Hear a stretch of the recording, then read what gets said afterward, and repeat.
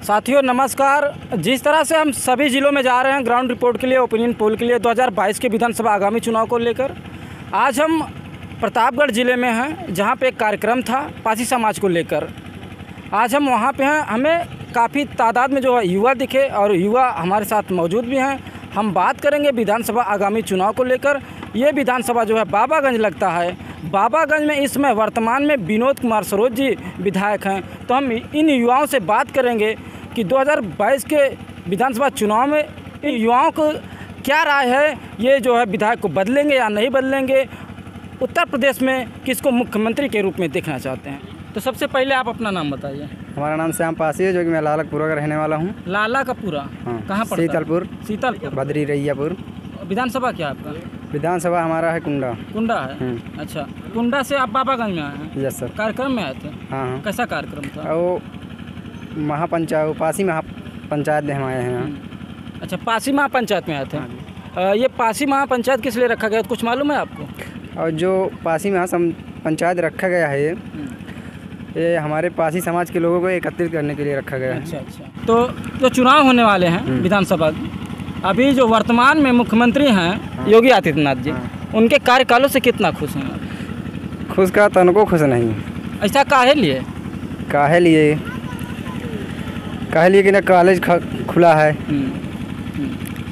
और ना सब दुकान बंद है ना कहीं आने जाने कोई सब सब कुछ बंद ही तो हैं। अच्छा कब से बंद है? मालूम है आपको? जहाँ तक मालूम तो नहीं है लगभग हो गया 2020 22 मार्च से जब हाँ। से कोरोना का लॉकडाउन लगा है तब से बंद है। हाँ तब से क्या असर पड़ता है युवाओं को यहाँ पे बहुत असर पड़ता है। हम्म, किस तरह का? आप बताइए। किस तरह का मतलब जैसे शिक्षा का बेरोजगारी पर। बेरोजगारी कहीं आने जाने की असुविधा। बस। आप जो है पढ़ते हैं या धंधा पानी? हाँ पढ़ते हैं। अच्छा। रोज़गार? अभी कोई नहीं अभी कुछ नहीं। आ, बेरोजगार जैसे बेरोजगारी भी चल रही है बहुत ज़्यादा हाँ। तो ये बेरोजगारी आप किस नज़र से देख रहे हैं? आपके साथ किस है वो क्या हुआ हमारे आसपास के जो पड़ोस रहते हैं लोग उनके द्वारा देख रहा हूँ। अच्छा। हम्म। तो योगी सरकार के कार्यकालों से आप कितना खुश हैं? मैं ये पूछ रहा था खुश तन तो उनको क्या एक परसेंट भी हम खुश नहीं अच्छा। हम्म। अरे काहे नहीं खुश हैं भैया? आपको गल्ला दे रहे हैं झोला भी दे रहे हैं किसान निधि दे रहे हैं।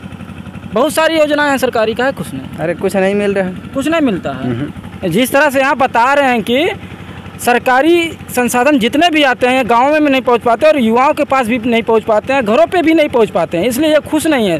तो क्या चाहते हैं? मुख्यमंत्री बदलेंगे क्या? हाँ बदलेंगे। किसको बनाएँगे? अभी तो कोई बात नहीं हुई है देख सकते हैं। अभी डिसाइड नहीं हुआ है। तभी किसको लग रहा है विकल्प के रूप में? बहुजन समाज पार्टी है आज़ाद समाज पार्टी है समाजवादी पार्टी है बहुत सारी पार्टियाँ किसको लग रहे हैं? हम तो समाजवादी पार्टी को देख समाजवादी पार्टी।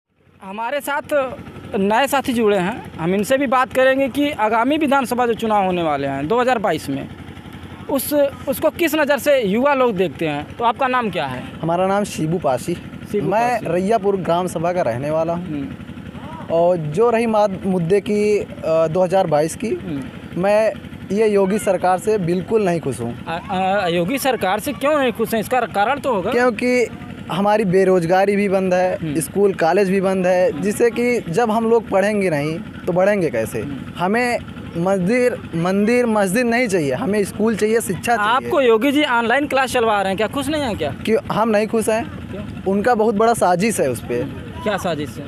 अरे उनका एक अपना लोकतांत्रिक आप जान लीजिए ये जो भारत देश है हमारा कम से कम पचासों साल बहुत नीचे जाने वाला है।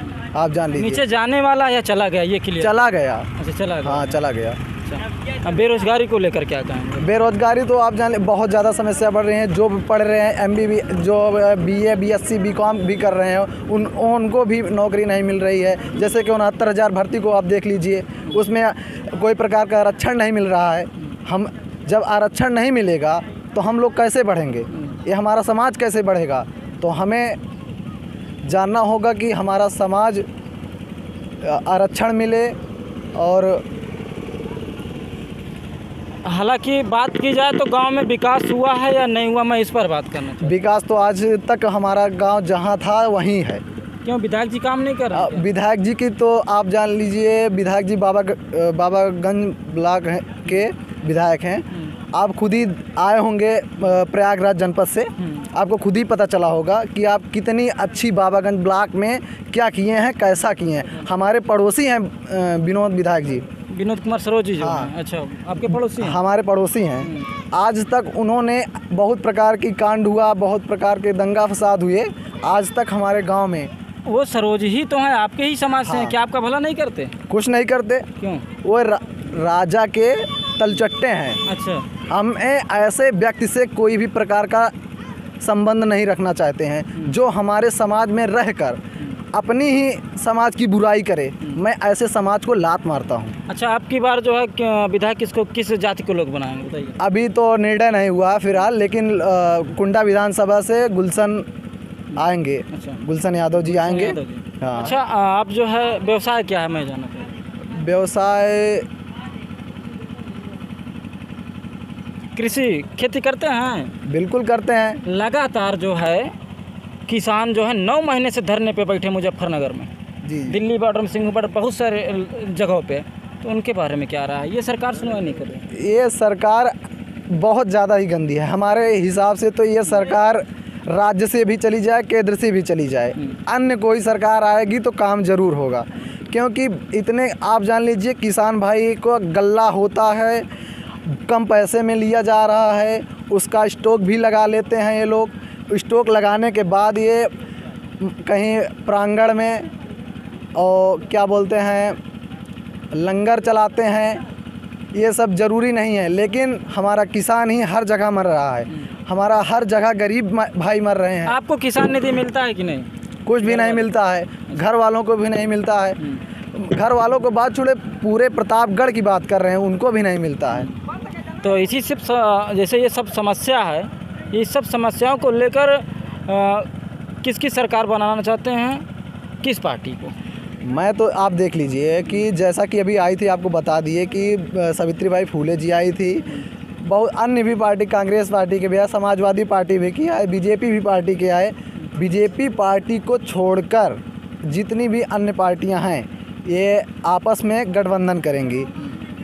और फिर मायावती जी भी हैं। जो है उन, उनकी बात कर रहे हैं। लेकिन यूपी में कहा जाता है कि ललका गमछवा देख ला तो सपाई न है। तो आप सपा के पहन के बैठे हैं सपा के ये ज़रूरी नहीं है कि हम लाल ही पहन कर आए हैं तो सपाई हैं। हम्म। ये किसी के ऐसा नहीं होता कि हम जनेऊ पहन लेते हैं तो हम पंडित हो जाते हैं। हम भी जनेऊ पहन सकते हैं आप भी जनेऊ जनेऊ पहन सकते हैं। तो किसी चीज़ की तुलना नहीं कर सकते हैं कि हम आप कौन कास्ट के हैं हम किस धर्म के हैं। कास्ट की बात नहीं है ये यूपी के लोग कहते हैं कि नीला झंडा और लाल झंडा वाली बात है नी, लाल गमछा और नीला गमछा वाली बात। नीला झंडा तो हमारे बाबा परम पूज्य बाबा साहब ने दे के दे के गए क्योंकि हमारा नीला आसमान है इसी कारण बाबा साहब ने हमारे नीला झंडा को ही चुना क्योंकि नीला जो झंडा होता है वो सबके ऊपर से चलता है। इसीलिए बाबा साहब ने नीला झंडा चुना है। बाबा साहब के बताए हुए अनुसार से क्या आप लोग चलते हैं? बिल्कुल चलते हैं। बाबा साहब को हम संविधान को मानते हैं। बाबा साहब की बहुत सारी किताबियाँ पढ़ें। आपको बता दें, जिस समय हम बाबा साहब की पुस्तक पढ़ रहे थे